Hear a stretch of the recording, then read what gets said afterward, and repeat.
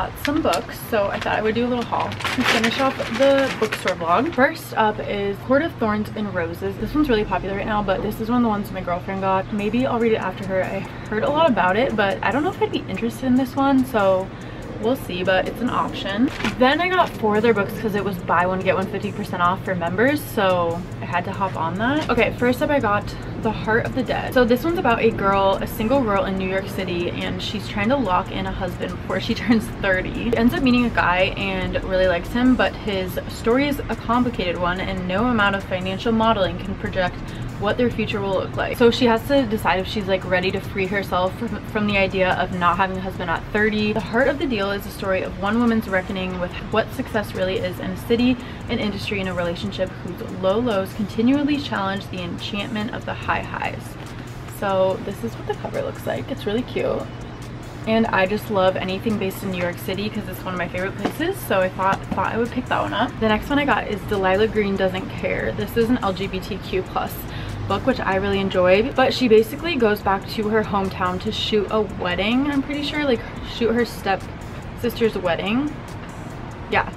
She, she, she goes back to her hometown to shoot her stepsister's wedding and she ends up meeting this girl Claire. Her name is Delilah. She ends up meeting this girl Claire. And it says Claire isn't sure she has the strength to resist Delilah's charms even worse she's starting to think she doesn't want to.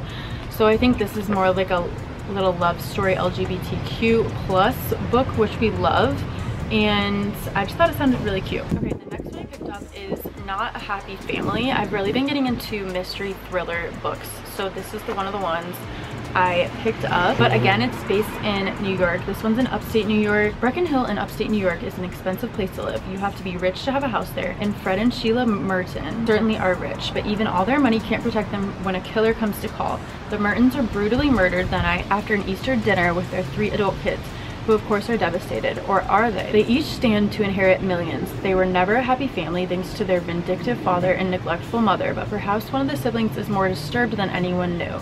So they're trying to figure out if one of the siblings ended up killing the parents for the money. So I thought it was a good little thriller mystery that I could read. And then the last one is again another thriller mystery kind of kind of book. And this one is called the wife before the cover's super cool. This one is about a girl who ends up meeting the love of her life. He's a pro golfer and she ends up moving to colorado and into his mansion. She's from miami but they end up having a relationship. She discovers a journal that belonged to his late wife who died in a tragic accident, but she comes to realize that it's not an accident at all and her trust starts to dwindle in her husband. She's determined to uncover the truth of Melanie's troubled last days, but even good wives should know that the truth is not always what it seems. I thought this was a little interesting book. It kind of reminded me, the finding the journals or like pages reminded me of Verity by Colleen Hoover, which I love that book. So I thought this was kind of a similar vibe. So I'm excited to see if this one is any good at all. Those were all the books we picked up today. I hope you guys enjoyed this little bookstore vlog. Make sure to subscribe down below if you haven't already. Thank you guys so much for watching and I will see you guys in my next video.